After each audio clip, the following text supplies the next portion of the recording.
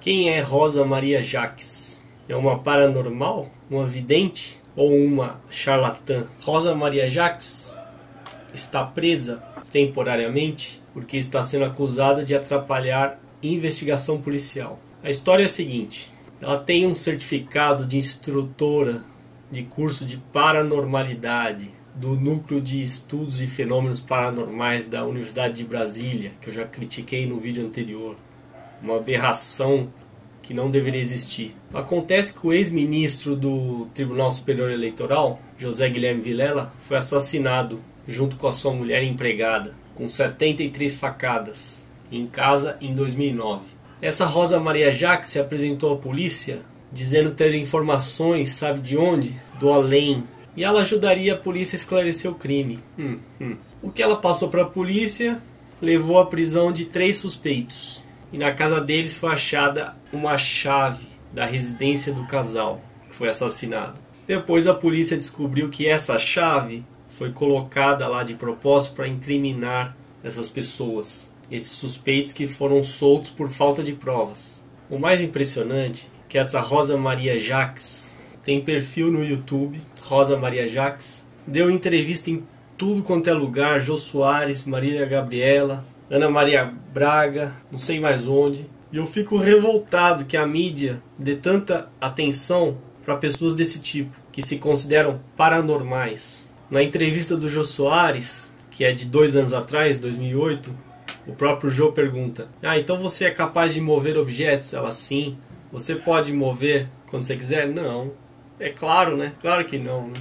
Imagina se mandam ela mover o objeto ali, uma caneca do Jô, ela não consegue. E de novo, como eu falei no outro vídeo, James Rand já tem um desafio para dar um milhão de dólares para quem apresentar um fenômeno paranormal. Por que, que essa Rosa Maria Jacques não se inscreve nesse desafio e mostra lá sua paranormalidade? Se ela não se inscreve é porque não passa de uma charlatã, uma mentirosa. E imagina quantas pessoas já deve ter enganado alegando essa tal paranormalidade. Imagina quanto ela cobra para prestar um serviço ou esclarecimento ou o que for.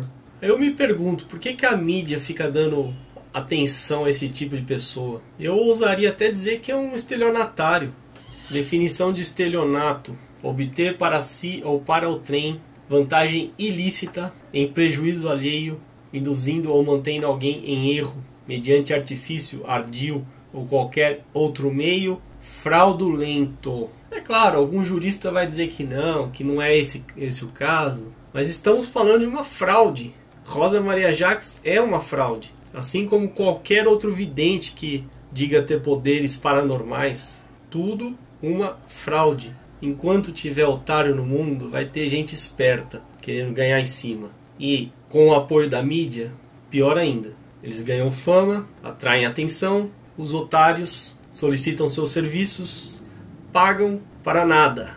Talvez seja o melhor jeito de ganhar dinheiro. Você apenas usa sua imaginação e as pessoas te pagam por isso.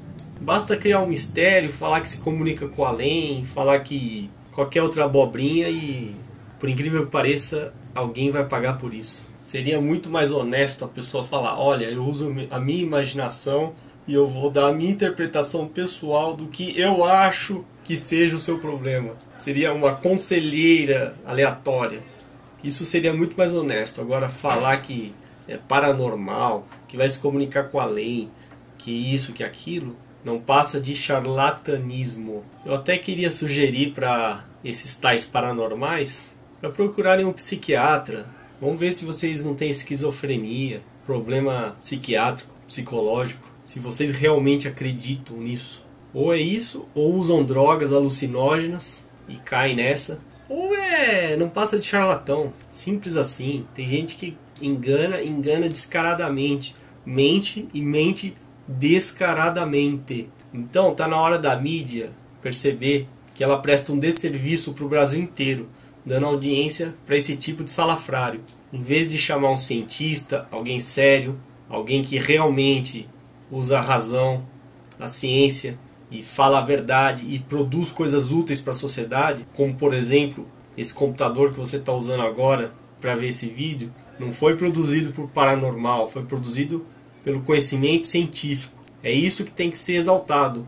O que é real, o que está provado pela ciência e não um bando de picaretas que alegam falar com além ou com isso ou aquilo. É, as pessoas estão anestesiadas, elas querem acreditar em coisas ilusórias. Elas não suportam a realidade do jeito que ela é, infelizmente. E aí cai na mão desses picaretas, gente muito esperta que sabe arrancar o seu dinheiro sem fazer esforço, sem violência nenhuma, apenas falando asneira.